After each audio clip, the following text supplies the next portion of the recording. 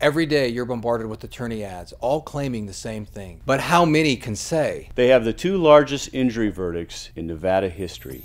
They have more multi million dollar verdicts than any other firm. They've had two lawyers named Trial Lawyer of the Year. And what group of attorneys can say they've had over $120 million in verdicts and settlements in the past year alone? Only one, the Justice Injury Lawyers. If you're injured, call 862 HELP.